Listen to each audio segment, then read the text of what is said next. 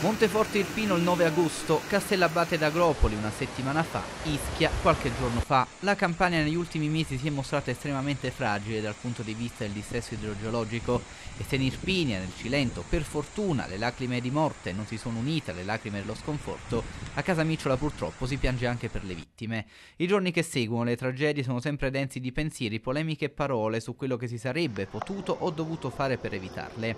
E la domanda che sempre più spesso ci si pone è chi sarà il prossimo.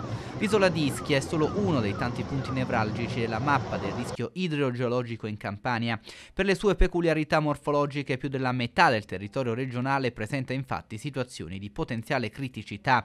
Dai due versanti è la penisola sorrentina, quelli cioè che si affacciano rispettivamente sul Golfo di Napoli e su quello di Salerno, al Cilento, da Sarno e alcune aree del Casertano e ancora dall'Avellinese al Sannio. Sono tante le aree nelle quali si potrebbero registrare eventi eventi catastrofici come quello che ha seminato lutti e distruzione sull'isola verde. Per avere il polso della vastità del territorio maggiormente esposto alle conseguenze dei fenomeni atmosferici, basti ricordare che questo è pari al 60,2% del totale, in tutta Italia la percentuale delle aree a rischio è invece del 19,9%. Nell'elenco delle regioni tuttavia la Campania risulta al quarto posto dopo il Veneto, la Sicilia e il Lazio, ma è tuttavia quella con il più alto numero di edifici a rischio rischio frane in area pericolosità molto elevata.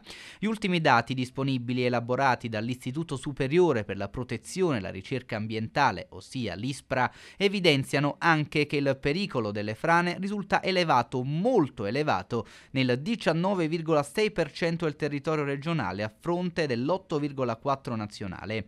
I picchi più elevati di rischio si registrano in Irpinia nella provincia di Salerno con il 23,3 e il 22,5% di territorio territorio potenzialmente interessato dagli effetti devastanti di alluvioni o frane.